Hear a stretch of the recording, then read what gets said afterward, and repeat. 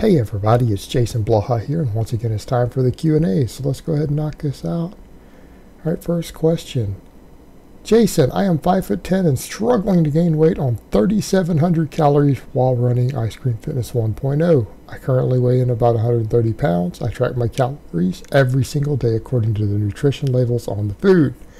My lifestyle is pretty sedentary. Why am I not gaining weight? Do I have a serious disease or something? Um, I'm going to take you at face value, and I'm going to say if you are 100% certain that you are consuming this sort of caloric intake, and I mean you're not messing up labels, you're actually weighing, and, and you know that you're consuming that much, and you have a sedentary lifestyle outside of training, and you weigh 130, yes, you very possibly have a very serious medical condition. Now, I don't want to freak you out, uh, but may be a case of serious mismeasurement. It could be a case of you might have only been doing this for a week. Right? You might have only been doing this for a week and your scale hasn't caught up. Um, and you're going to see like a 10 pound weight jump in the next couple weeks or something due to water weight, everything else. But here's what I'm going to say.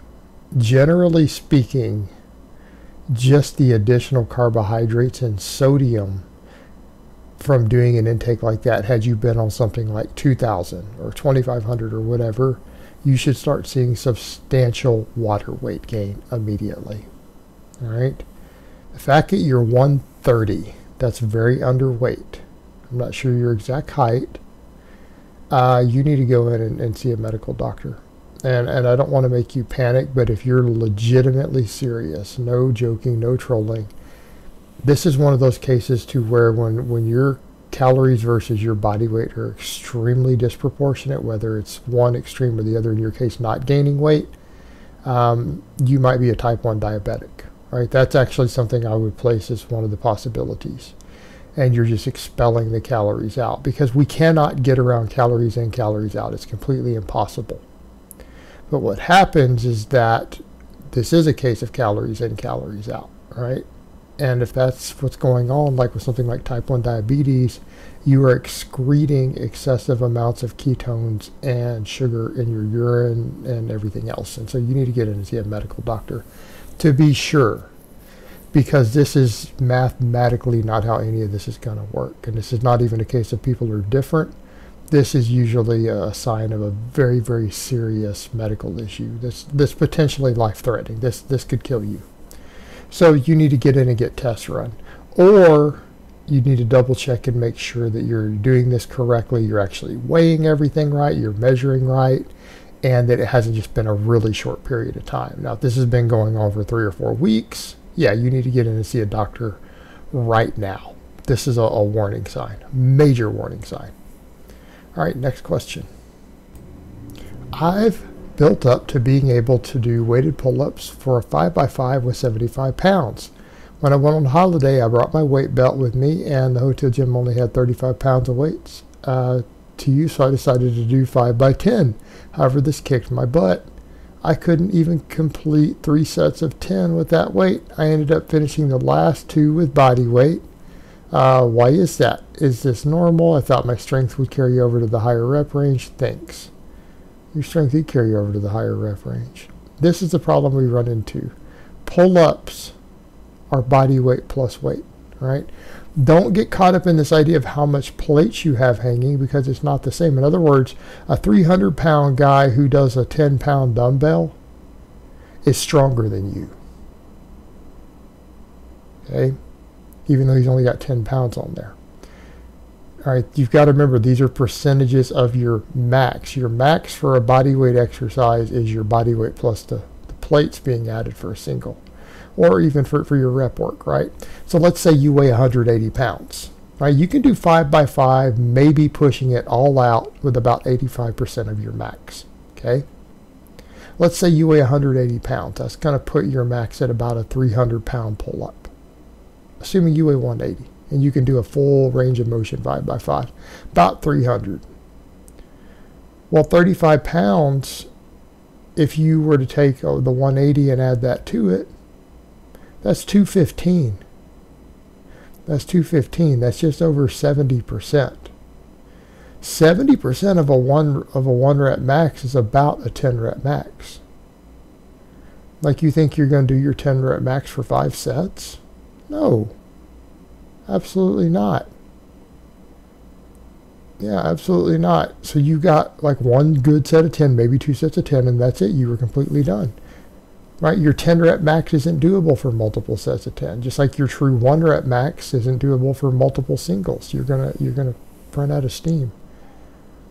So I think what you've got to remember is that maybe you were thinking that 35 pounds was 50% of your normal working weight. It wasn't.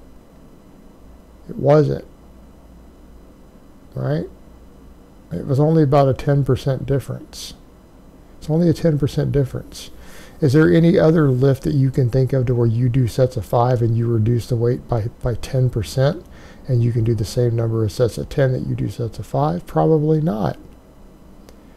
Probably not. It was just a math issue. It's just you, you, you miscalculated the percentage of your one rep maxes. You didn't factor in that it's body weight plus the weights, right? even though that applies to things like squats and deadlifts are such a smaller amount of the percentage, we don't we don't factor them in the same. But that's what's going on. All right, next question. What's your take on Eddie Hall advising people to deadlift only from the floor up to the knees and forget about the lockout? His argument is that most strongmen can pick up a yoke or other load that is significantly heavier than their deadlift, and that the lockout is essentially a hip thrust And you have the power to do it. Does it only apply to people who already have a massive strength base, or would it apply to everybody? In my experience, taking the load from, from big, heavy shipping boxes uh, from thigh height to hip carry height to carry it or shoving it is the hardest part.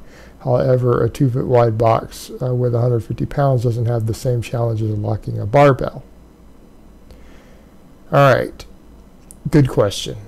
And here's what people need to remember. This is why I tell people some of these genetically gifted freaks who never even learn basic training protocols to get somebody strong come up with ideas like this. They come up with ideas like this. This is not going to work in the real world for other people. And here's why. He's basically telling you to decelerate on a deadlift. Right? I'm already not a fan of pause deadlifts. I know they're popular but I'm going to say for the overwhelming majority of lifters, you're going to get weaker doing pause deadlifts than you would actually doing a deadlift. Why? You're training yourself to decelerate. And he's saying, well, because we are so much stronger at the lockout that we get other training with that, we only need to train the hardest part. We come over to the point of you're doing partial reps. And granted, it's partial reps to the hardest part. You're losing a lot of, of muscle fiber recruitment. But the main thing is that you'd be training yourself to decelerate. How many other coaches out there specialize so much in training rate of force production? Especially if they work with powerlifters and field athletes.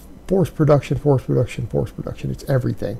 We spend so much time, including even me, focusing on the exact opposite of everything that he just said. Why? Because we're, we're not genetically gifted. All right, we're not on 10 grams of gear. All right, You need to take someone like Eddie Hall, a guy like Eddie Hall with an enormous frame, extremely genetically gifted for strength, probably uses amounts of anabolics that would kill a horse, kill an elephant. That's an exaggeration. For that's hyperbole for those who don't understand that. Uh, is going to give you advice on something that is so rudimentary and understood in strength and conditioning but because he's so big and strong, people might take it to heart and realize it's actually really bad advice. And his logic is extremely flawed with it. Yes, he's right in that you should be able to lock out more weight than you pull from the bottom, but you get fatigued pulling from the bottom. And the worst thing you could do is decelerate. Intentionally decelerating is going to recruit less muscle fibers right? Now, when you're his size and you're doing all sorts of dozens of e- enormous, massive lifts that other human beings will never touch, and you're eating massive amounts of food, so much food that you become enormously, ridiculously, disgustingly fat, like he does, and you use more anabolics than, you know, five or ten of your local gym bros put together. Of course, you're going to keep getting big and strong doing even stuff like that. Doesn't matter. Plus, he's all around strong already. this is not going to work for you. It's not going to work for the average person. You are going to gain less muscle and less strength doing something like this. You just are. Not saying you won't make gains, but it will be less. It's just bad advice. So again, be careful when you go to these genetic freaks who are on massive amounts of substances because they're massive or they're strong. That not every bit of training advice that they have is actually good, well thought out, or anything that any good coach would recommend. All right, guys, but that's really all I have to say on that today. I hope it's been informative, and I will talk to you guys next time in part two.